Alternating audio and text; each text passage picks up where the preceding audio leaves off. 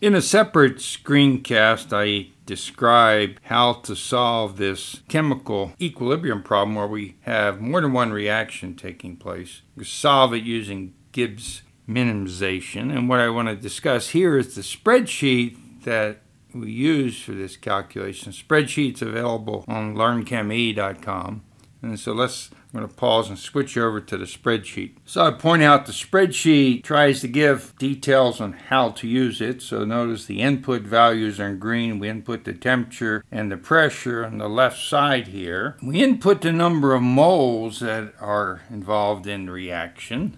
In this case, one mole of water and one mole of methane. And then we make guesses. So let, let's do that because right now I'm showing the answer, but let me pause and put in guesses. So I've guessed that the outlet number moles is one for each of the five components, and therefore we calculate the mole fractions. And we use these mole fractions as well as the number of moles in calculating the Gibbs free energy, the total Gibbs free energy for the mixture as a sum of the partial molar Gibbs free energies. This value, minus 101.15, is what we're going to minimize using solver. And we minimize it with the constraints that are shown here namely that the number of carbon atoms that are coming in, which because we have one mole of methane, there's one mole of carbon atoms, one mole of water, one mole of oxygen atoms, and because one mole of water plus one mole of methane is six moles of hydrogen atoms. The constraints that we enter in the solver is that carbon atoms leaving should be equal to carbon atoms entering, likewise for hydrogen oxygen. So this is the difference. This is what we want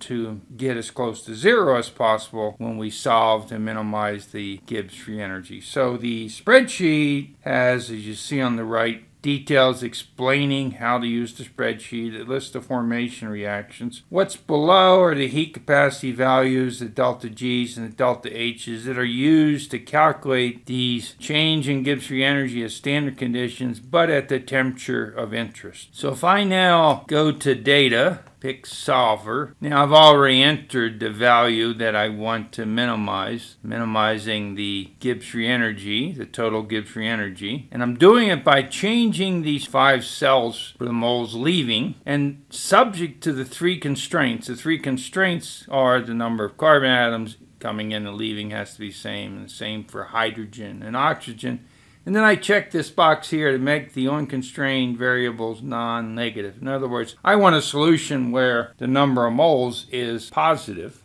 That's only physically meaningful. So if I hit solve, you'll notice it says it encountered an error. So let's look at what it happens. It gives a negative value, and that's an error because we said they're positive. And so this can happen depending on what our initial conditions are. If I now, let's try 0.5. So I just change this to 0.5 make this my new initial guess and just repeat this procedure for solver. Now it found a solution. And indeed this, this is the correct solution. So which values we pick for our starting conditions definitely affect whether we're going to reach a solution, but I found that usually it's the CO2 that ends up being negative if I pick bad starting conditions. If I pick good starting conditions, it approaches this solution in, in one iteration, but using solver the second time seems to be very effective at arriving at a solution. So you can see the spreadsheet